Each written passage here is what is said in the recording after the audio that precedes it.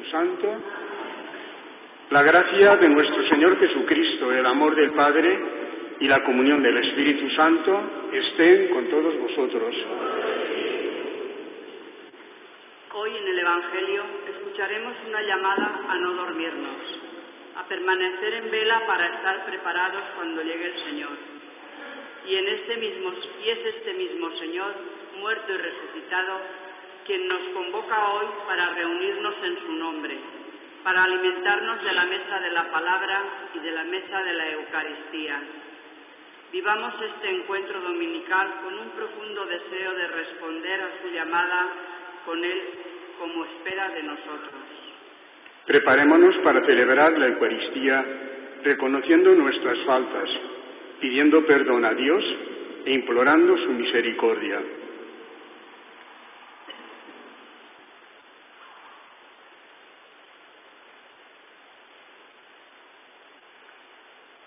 Señor, ten misericordia de nosotros. Muéstranos, Señor, tu misericordia. Dios Todopoderoso, tenga misericordia de nosotros, perdone nuestros pecados y nos lleve a la vida eterna. Señor, ten piedad.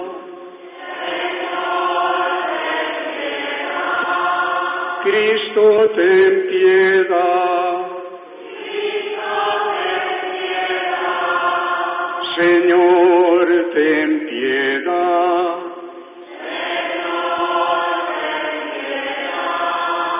Gloria a Dios en el cielo, en la tierra paz a los hombres que ama al Señor. Por tu inmensa gloria te alabamos, te bendecimos, te adoramos, te glorificamos. Te damos gracias, Señor Dios, Rey Celestial, Dios Padre Todopoderoso, Señor Hijo único Jesucristo, Señor Dios, Cordero de Dios, Hijo del Padre.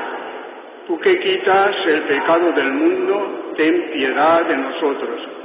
Tú que quitas el pecado del mundo, atiende nuestra súplica.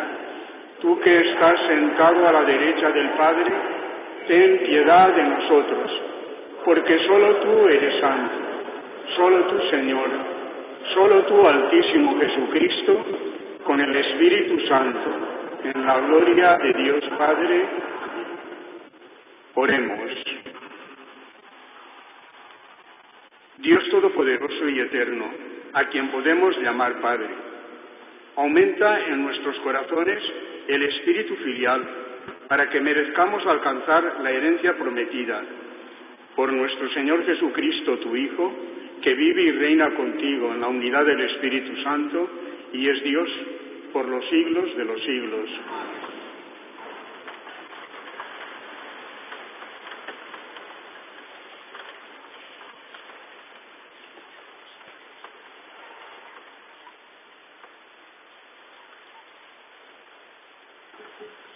Lectura del libro de la sabiduría. La noche de la liberación les fue preanunciada a nuestros antepasados para que, sabiendo con certeza en qué promesas creían, tuvieran buen ánimo. Tu pueblo esperaba la salvación de los justos y la perdición de los enemigos, pues con lo que castigaste a los adversarios, nos glorificaste a nosotros llamándonos a ti. Los piadosos hijos de los justos ofrecían sacrificios en secreto y establecieron unánimes esta ley divina, que los fieles compartirían los mismos bienes y peligros, después de haber cantado las alabanzas de los antepasados. Palabra de Dios.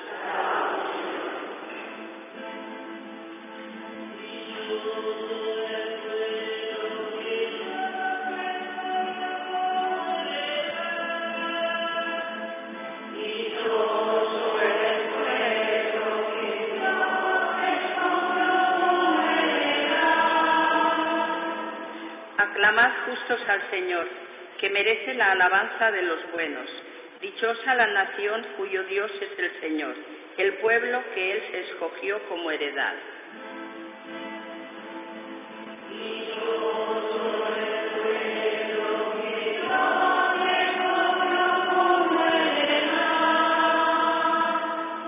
Los ojos del Señor están puestos en quien lo teme, en los que esperan su misericordia para librar sus vidas de la muerte y reanimarlos en tiempo de hambre. Y yo soy el pueblo que Dios.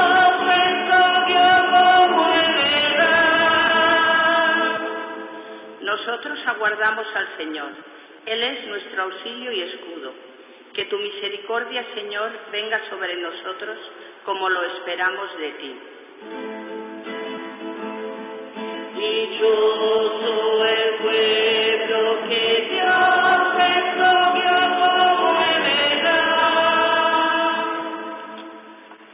Lectura de la carta a los hebreos. Hermanos, la fe es fundamento de lo que se espera y garantía de lo que no se ve. Por ella son recordados los antiguos. Por la fe obedeció Abraham a la llamada y salió hacia la tierra que iba a recibir en heredad. Salió sin saber a dónde iba. Por fe vivió como extranjero en la tierra prometida, habitando en tiendas, y lo mismo Isaac y Jacob, herederos de la misma promesa, mientras esperaba la ciudad de sólidos cimientos, cuyo arquitecto constructor iba a ser Dios. Por la fe también Sara, siendo estéril, obtuvo vigor para concebir, cuando ya le había pasado la edad, porque consideró fiel al que se lo prometía.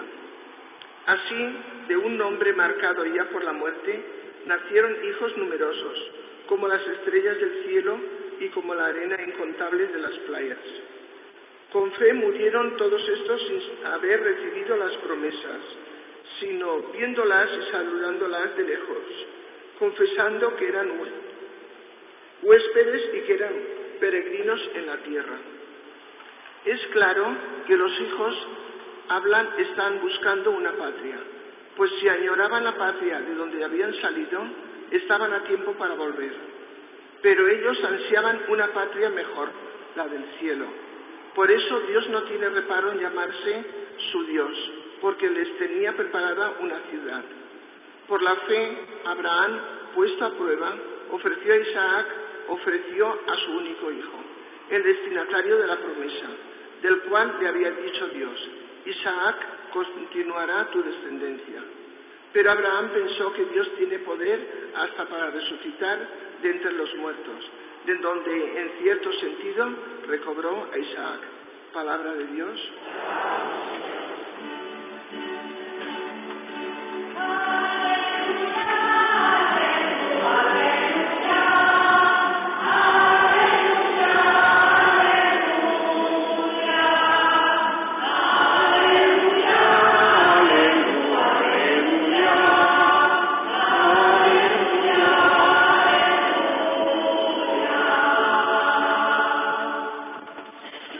Esté con vosotros. Lectura del Santo Evangelio según San Lucas. En aquel tiempo dijo Jesús a sus discípulos, no temáis, pequeño rebaño, porque vuestro Padre ha tenido a bien daros el reino. Vended vuestros bienes y dad limosna, haced bolsas que no se estropeen y un tesoro inagotable en el cielo, a donde no se acercan los ladrones ni roe la polilla, porque donde está vuestro tesoro, allí estará también vuestro corazón. Tened ceñida vuestra cintura y encendidas las lámparas. Vosotros estad como los hombres que aguardan a que su Señor vuelva de la boda para abrirle apenas venga y llame. Bienaventurados aquellos criados a quienes el Señor al llegar los encuentre en vela. En verdad os digo que se ceñirá, los hará sentar a la mesa y acercándose les irá sirviendo. Y si llega a la segunda vigilia o la tercera y los encuentra así, bienaventurados ellos.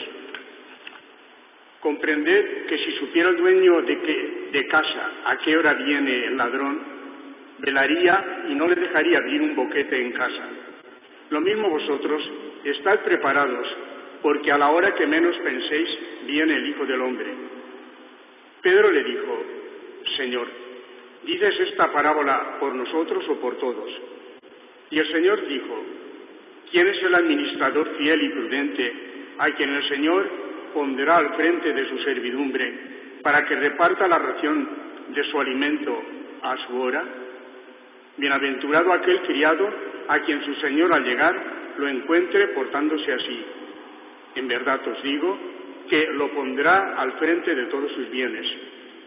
Pero si aquel criado dijere para sus adentros, mi Señor tarda en llegar, y empieza a pegarles a los criados y criadas, a comer y beber y emborracharse, vendrá el Señor de ese criado el día que menos espera y a la hora que no sabe y lo castigará con rigor y le hará compartir la suerte de los que no son fieles.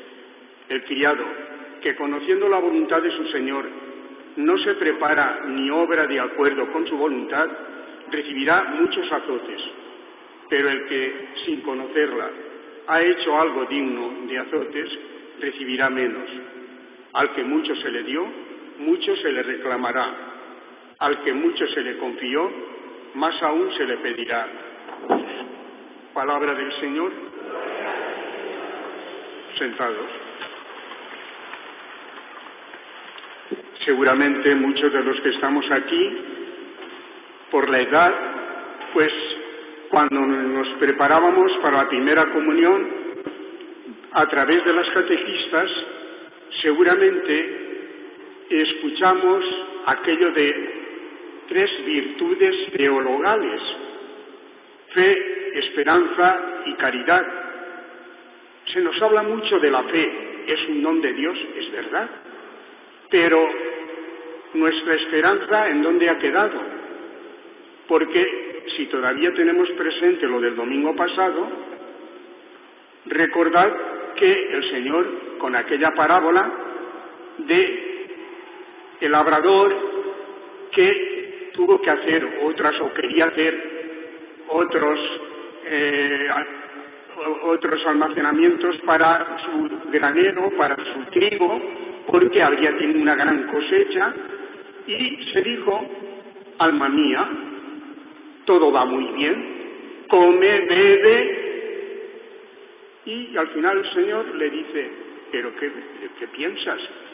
Si esta noche vas a, se va, vas a terminar aquí en esta vida, no sabemos ni el día ni la hora.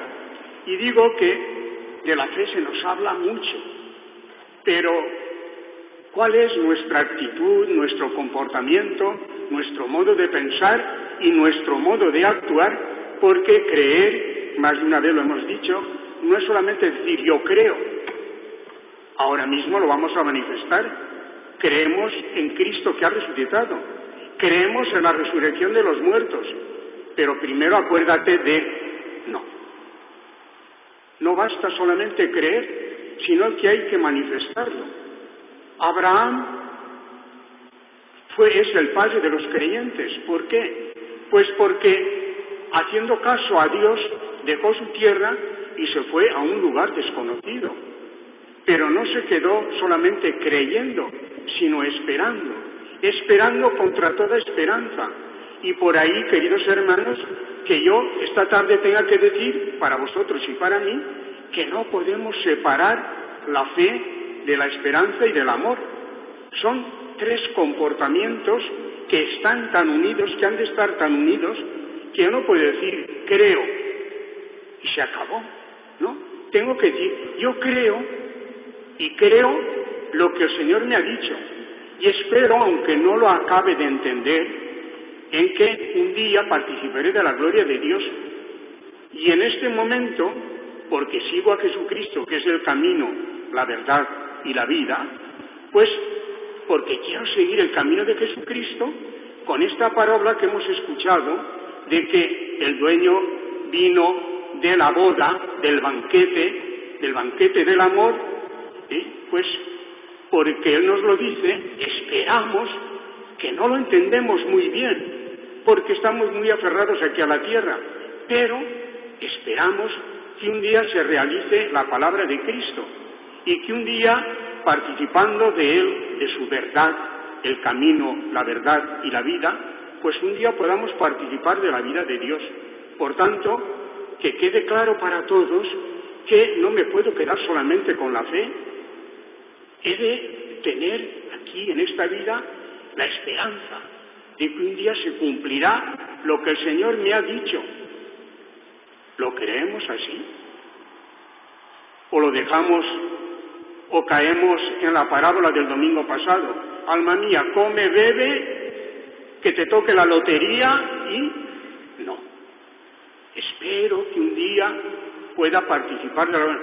Ahí he oído a veces en medio, medio chiste y qué aburrimiento, pero si no hemos ido todavía al cielo, estamos muchas veces interpretando, interpretándolo desde aquí, desde nuestra realidad mundial del mundo. Estamos viviendo aquí. Y eso nos lleva a veces a pensar que allá podrá ser, si allá es igual que aquí, no necesitamos el cielo. Pero pensamos, esperamos que un día participemos, participemos con Jesucristo de su gloria. He dicho más de una vez, lo vuelvo a repetir, que Cristo después de resucitado no tuvieron que abrirle las puertas para entrar. Se presentaba con un cuerpo glorioso diciendo, la paz sea con vosotros. Y creo, y así lo manifestamos también, y dentro de unos días lo vamos a celebrar, con la fiesta de la asunción de la Virgen a los cielos en cuerpo y alma. María, nuestra Madre, que está en los cielos, intercede por nosotros, pero que está allí en cuerpo y alma. En cuerpo y alma creemos que un día, creemos un día podremos participar de la vida de Dios. Y viene la tercera virtud que se ha de manifestar aquí con una actitud. Se nos ha hablado en este año jubilar de la misericordia muchísimas veces ya de la misericordia que Dios tiene con nosotros, pero no para que nos lo guardemos, sino para que lo comuniquemos a los demás. Y si permanecemos fieles, aunque llegue la madrugada, aunque llegue a medianoche por de la madrugada el Señor, si nos encuentra con esta actitud, pues con cuál, qué, qué actitud, pues de poder atender no solamente a los que tengo a mi lado, sino a los que más lo necesitan. Y esto también lo hemos de tener muy dentro de nosotros, a los que más lo necesitan. A lo mejor tus, familiares no lo necesitan tanto, pero hay otras personas por, por inmigración, por, por los países en, que están en guerra, etcétera, etcétera, que lo están necesitando mucho más. Y en ese aspecto, pues las tres virtudes. Creo, espero y aquí en esta vida, como cristiano, como seguidor del camino de Cristo, tengo que comunicar ese amor que por medio de la parábola lo hemos escuchado y cuando venga el amo, el dueño de la vida, y cuando venga y, venga de la boda o del banquete, del banquete del amor, que nos llena nuestro corazón de, amor, que lo, lo hagamos partícipe para los demás. Por tanto, que tengamos muy, muy en cuenta esto. No solamente decir yo creo, sino yo creo, yo espero y lo manifiesto con las obras. Porque la fe sola no se puede manifestar si no es precisamente con las obras. Por tanto, queridos hermanos, que el Espíritu del Señor nos ayude, nos ilumine, para que los que queremos seguirle, Él es el camino, y hemos de vivir aquí este camino con la verdad que Él nos manifiesta, Él es la verdad, para que un día podamos participar de la vida, de la gloria de Dios, viviendo la fe, la esperanza y la caridad.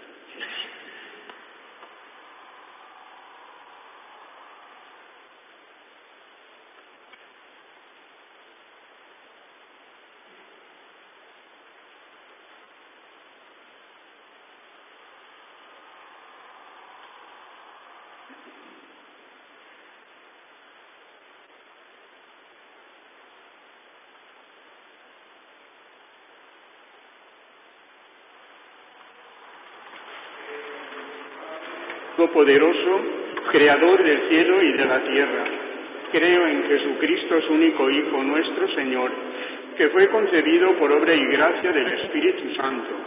Nació de Santa María Virgen, padeció bajo el poder de Poncio Pilato, fue crucificado, muerto y sepultado, descendió a los infiernos, al tercer día resucitó de entre los muertos subió a los cielos y está sentado a la derecha de Dios Padre Todopoderoso. Desde allí ha de venir a juzgar a vivos y muertos. Creo en el Espíritu Santo, la Santa Iglesia Católica, la comunión de los santos, el perdón de los pecados, la resurrección de la carne y la vida eterna. Amén. Oremos ahora, hermanos, hermanas, a Dios nuestro Padre, y pidámosle por nosotros y por todos los hombres y mujeres del mundo entero, diciendo, escúchanos, Padre. Por la Santa Iglesia extendida por toda la tierra, presente en nuestra comunidad, oremos. Escúchanos, Padre. Por los movimientos y grupos jóvenes cristianos que quieren ser testigos de Jesucristo en sus ambientes, oremos. Escúchanos, Padre. Por la paz en todo el mundo y por los países sometidos a dictaduras, oremos. Escúchanos, Padre. Por los que están disfrutando de unos días de vacaciones y también por todos los que no pueden permitirse unos días de descanso, oremos. Escúchanos, Padre. Por las personas con discapacidades físicas y psíquicas, por los minusválidos y por todos los que se interesan y se preocupan por ellos, oremos. Escúchanos, Padre. Por nosotros y por nuestros familiares y amigos, oremos. Escúchanos. Escucha, Padre, las oraciones que te hemos presentado. Tú que eres nuestra ayuda. Atiende nuestros anhelos y danos todo aquello que ni nos atrevemos a pedir. Te lo pedimos por Jesucristo nuestro Señor.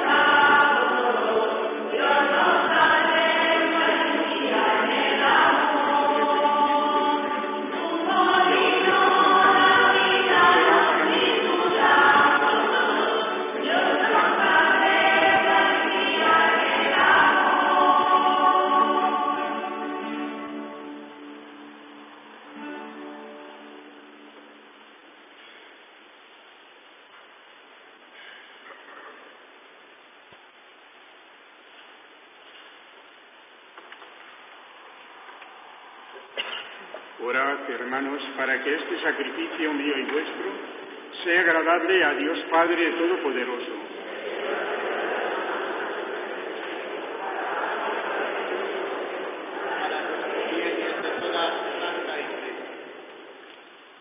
Acepta, Señor, los dones que le has dado a tu Iglesia, para que pueda ofrecértelos y transfórmalos en sacramento de nuestra salvación.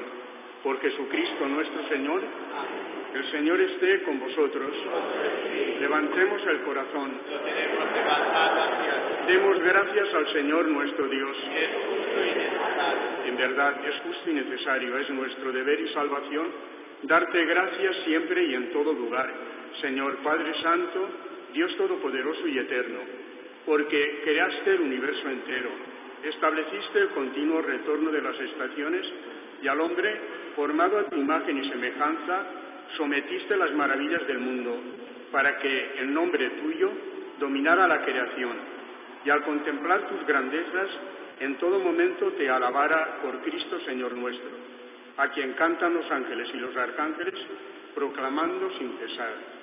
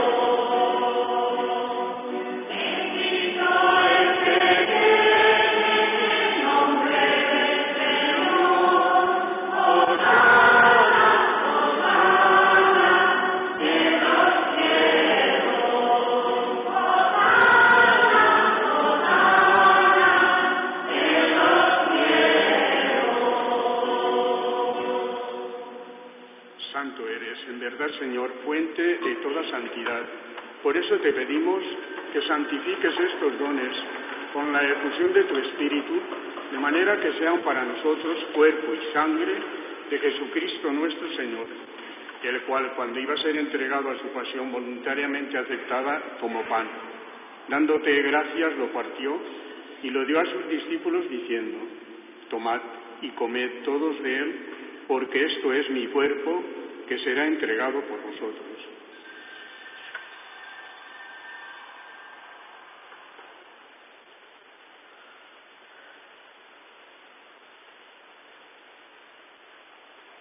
Del mismo modo, acabada la cena, tomó el cáliz y dándote gracias de nuevo lo pasó a sus discípulos diciendo, tomad y bebed todos de él, porque este es el cáliz de mi sangre, sangre de la alianza nueva y eterna, que será derramada por vosotros y por todos los hombres para el perdón de los pecados.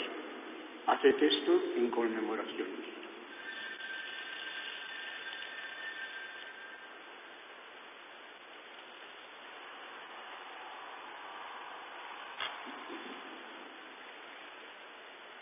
Este es el sacramento de nuestra fe.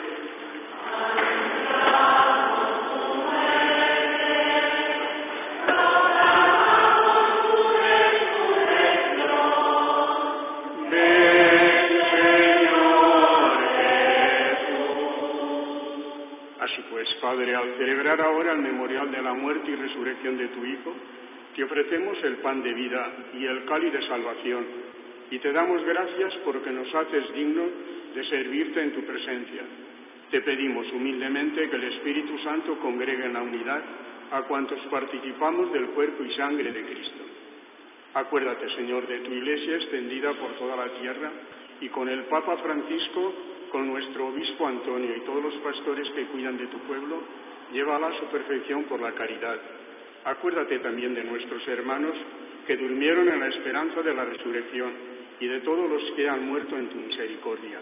Admítelos a contemplar la luz de tu rostro. Ten misericordia de todos nosotros y así con María, la Virgen Madre de Dios, los apóstoles y cuantos vivieron en tu amistad a través de los tiempos, merezcamos por tu Hijo Jesucristo compartir la vida eterna y cantar tus alabanzas. Por Cristo, con Él y en Él, a ti, Dios Padre Omnipotente, en la unidad del Espíritu Santo, todo honor y toda gloria por los siglos de los siglos.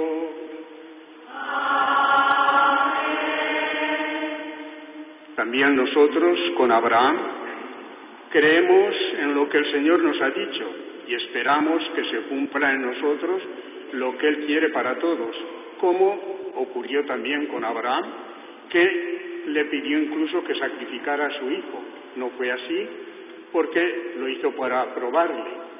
Y contra toda esperanza, Abraham quiso cumplir lo que el Señor le pidió. Que nosotros, al decir ahora esta oración del Señor y decirle también que se cumpla su voluntad, que realmente el Espíritu del Señor nos ayude para que aquí, los que estamos peregrinando en esta vida, podamos cumplir la voluntad de Dios y Él tenga un día la satisfacción de cumplirla con nosotros, haciéndonos partícipes de su gloria.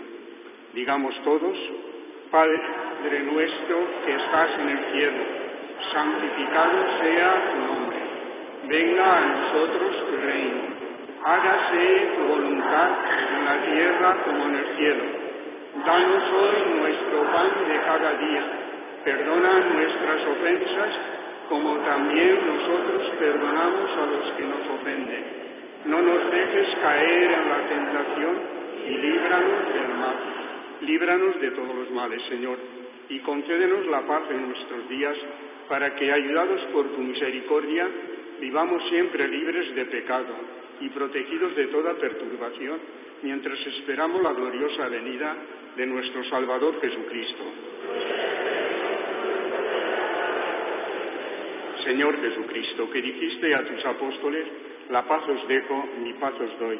No tengas en cuenta nuestros pecados, sino la fe de tu Iglesia, y conforme a tu palabra, concédele la paz y la unidad, tú que vives y reinas por los siglos de los siglos. La paz del Señor esté siempre con vosotros. En Cristo, que nos ha hecho hermanos con su cruz, daos la paz como signo de reconciliación.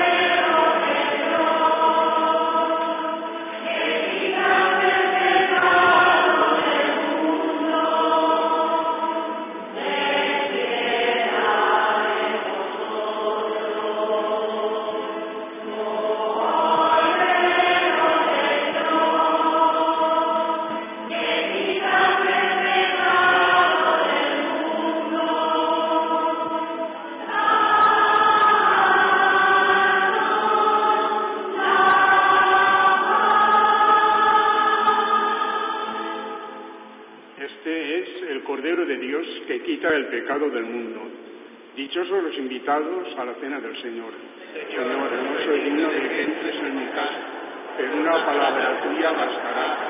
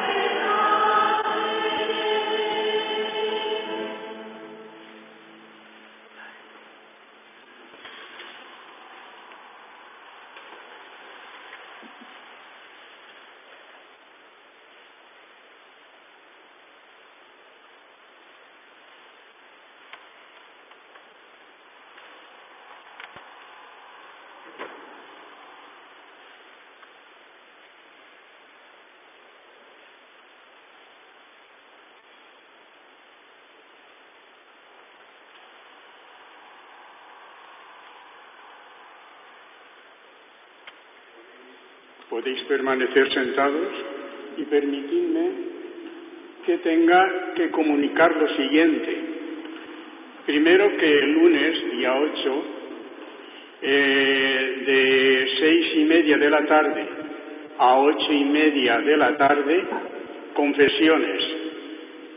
Por tanto, eh, que lo tengáis en cuenta. Hay otros eh, avisos, pero ya los leeréis, porque luego, eh, jueves, viernes y sábado de la semana próxima, tendremos el trido de, a la Virgen.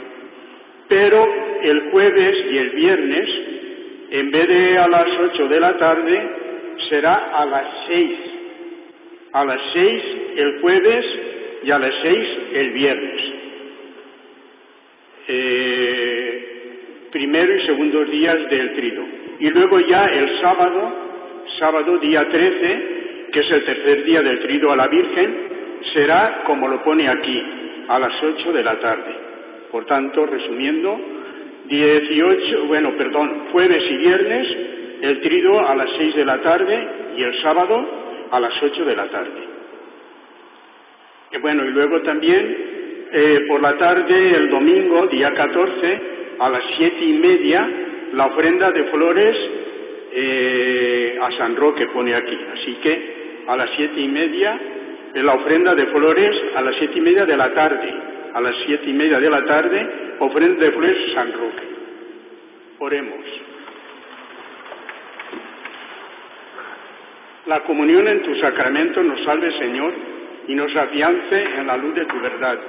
Por Jesucristo nuestro Señor, el Señor esté con vosotros. La bendición del Señor, Padre, Hijo y Espíritu Santo, descienda sobre vosotros. Que tengáis un día del Señor, mañana domingo, muy feliz con vuestros familiares. Podéis ir en paz.